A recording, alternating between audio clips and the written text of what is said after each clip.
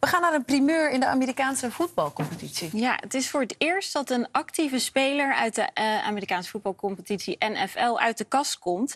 Uh, zijn naam is uh, Carl Nassib en hij deelde het nieuws via zijn Instagram-account. What's up, people? I'm Carl Nassib. I'm at my house here in Westchester, Pennsylvania.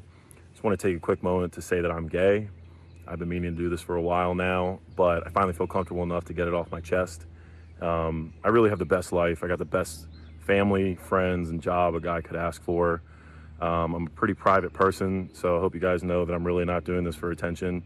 Um, I just think that representation and visibility are so important. Ja, in een verklaring schrijft hij nog dat hij 15 jaar heeft gewacht om dit uh, nieuws bekend te maken.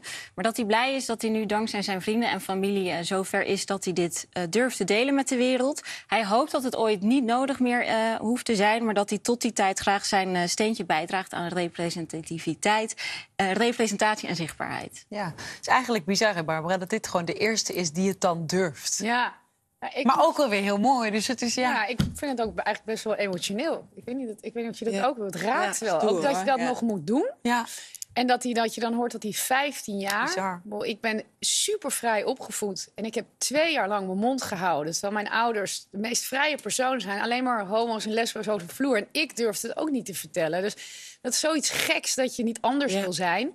En hij zit dan in zo'n zo'n macho sportomgeving. En 15 jaar lang je mond houden. En dan nu zo rustig en vol zelfvertrouwen dit vertellen. Ik, ik ben eigenlijk ook wel een beetje door geraakt. Maar het is wel met je hebt gelijk. Dat hele thema uit de kast komen. Je komt ook niet thuis en zegt nou...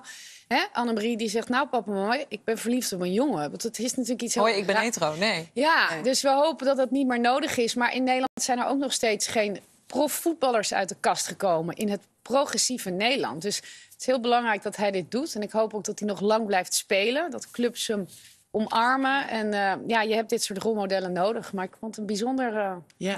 bijzonder mooi filmpje.